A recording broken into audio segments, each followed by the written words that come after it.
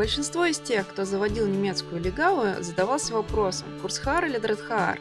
В чем отличие на первый взгляд таких похожих пород? Начнем с истории.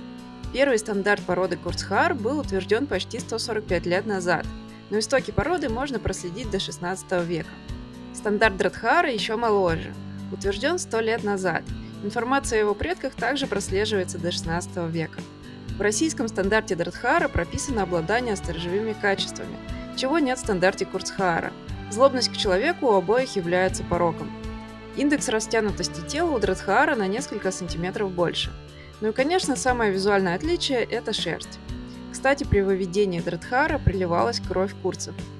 В следующем видео я расскажу про отличия рабочих качеств этих пород.